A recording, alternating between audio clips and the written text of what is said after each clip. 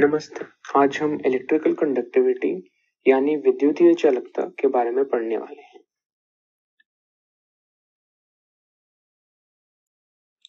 विद्युतीय चालकता किसी सामग्री की विद्युतीय धारा यानी इलेक्ट्रिकल करंट ले जाने की क्षमता को मापता है।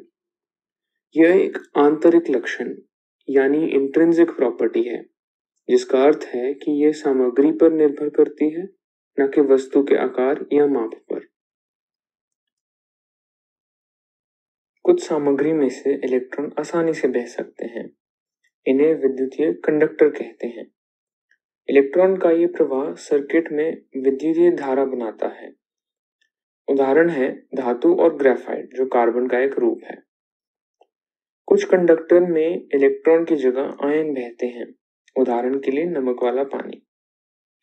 कंडक्टर उच्च विद्युतीय चालकता द्वारा परिभाषित किए गए हैं। कुछ सामग्री इलेक्ट्रॉन को कसकर पकड़ती हैं, जिससे इलेक्ट्रॉन का प्रवाह रुकता है। इन्हें विद्युतीय इंसुलेटर कहते हैं। आम उदाहरण रबड़, प्लास्टिक, लकड़ी और कांच हैं। इंसुलेटर कम विद्युतीय चालकता द्वारा परिभाषित किए गए हैं। इस प्रयोग में हम कुछ गृहस्थी वस्तुओं में से विद्युतीय धारा चलाने का प्रयास करेंगे। इसके लिए हम दिए गए चित्र के सर्किट का इस्तेमाल करेंगे। एक वस्तु को दो खुली तारों के बीच रखा जाएगा और स्विच ऑन किया जाएगा। अगर एलईडी बल्ब रोशन होता है तो उसका अर्थ है कि विद्युतीय धारा सर्किट में चल रही है और वह वस्तु उच्च विद्युतीय चालकता वाली कंडक्टर है। वरना वह वस्तु कम विद्युतीय चालकता वाली इंसुलेटर है। रजिस्टर का काम है बिजली की शक्ति को कम रखना, ताकि बल्ब खराब ना हो जाए। अब देखते हैं हम किन वस्तुओं के साथ प्रयोग करने वाले हैं। हम दिए गए चित्र में ये सारी वस्तुएँ देख सकते हैं। पहली है एक धातु की बनी चाबी, दूसरा प्लास्टिक की बोतल, तीसरा पेंसिल के निशान हटाने वाला रबड़। चौथी है एक पेंसिल, जिसके दोनों छोर शार्पन किए गए हैं। पांचवा एक कौली शुद्ध, यानी अशुद्ध पानी की। कृपया ध्यान रखें कि ये कौली धातु की नहीं होनी चाहिए, वरना धातु करंट को बहने देगा और हमें गलत परिणाम मिलेगा। छवी वस्तु है नमक वाला पानी। लेकिन चित्र में हमने सिर्फ़ नमक रखा है, जो हम शुद्ध पानी में मिला लेंगे। सबसे पहले हम जाँच करेंगे कि हमारा सर्किट ठीक से काम कर रहा है या नहीं।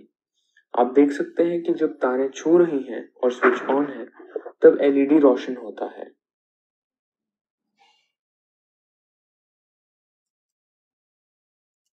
जब तारों के बीच धातु की चाबी हो स्विच ऑन करने पर विद्युत धारा, यानी इलेक्ट्रिक करंट धातु के माध्यम से प्रवाहित होती है और एलईडी रोशन हो जाती है।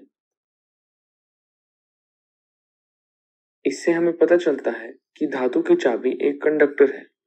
ये इसलिए क्योंकि धातु की विद्युतीय चालकता काफ़ी उच्च होती है।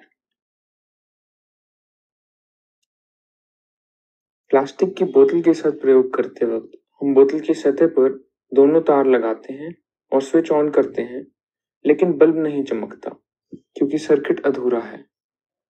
प्लास्टिक की बोतल एक इंसुलेटर है, क्योंकि प्लास्टिक की विद्युतीय चालकता कम होती है। जिस इरेजर से हम पेंसिल के निशान हटाते हैं, हम उसको भी तारों के बीच रख के प्रयोग कर सकते हैं। लेकिन इरेजर में से इलेक्ट्रिक करंट नहीं गुजरता और एलईडी रोशन नहीं होती। इरेजर इंसुलेटर होते हैं। अब चलिए पेंसिल के साथ प्रयोग करते हैं। हम एक तार पेंसिल की एक छोर पे बाँध देते हैं ताकि वह पेंसिल की लकड़ी और पेंसिल की लेड यानी सूरमा दोनों को छुए। स्विच ऑन करके दूसरी तार हम पेंसिल की लेड और लकड़ी दोनों को छू कर देखते हैं। जब तार पेंसिल की लेड को छूती है, तब बल्ब रोशन होता है और करंट चलता है। लेकिन जब तार पेंसिल की लकड़ी को छूती है तब बल्ब रोशन नहीं होता, करंट नहीं चलता इससे हमें पता चलता है कि पेंसिल की लेड यानी सूरमा एक कंडक्टर होता है और पेंसिल की लकड़ी इंसुलेटर। ये इसलिए क्योंकि पेंसिल का लेड ग्रेफाइट से बना होता है, जो कार्बन का एक रूप है और एक कंडक्टर है, और लकड़ी इंसुलेटर होती है।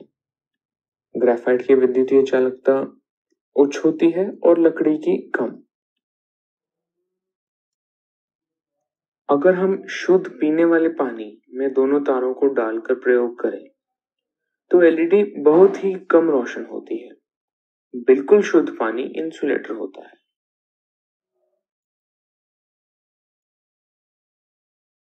अब हम उस पानी में साधारण नमक घोलते हैं।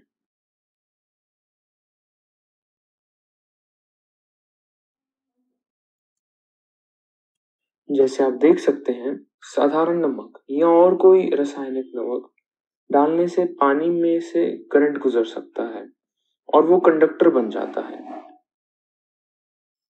नमक वाला पानी एक ऐसा कंडक्टर है जिसमें करंट इलेक्ट्रॉन की जगह आयन के द्वारा चलता है।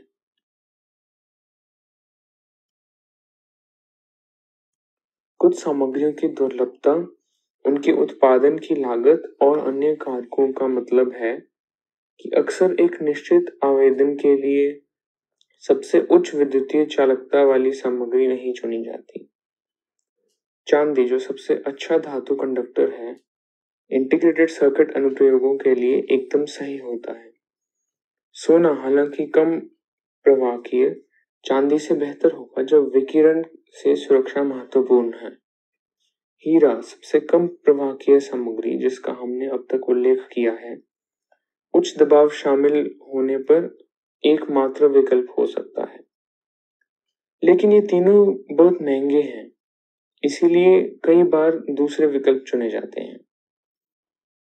सुपर कंडक्टर्स बहुत उच्च विद्युतीय चालकता वाली सामग्रियाँ हैं, लेकिन कार्य करने के लिए पूर्ण शून्य केल्विन के करीब तापमान की आवश्यकता होती है, इसलिए इनको आम काम में इस्तेमाल नहीं किया जा सकता।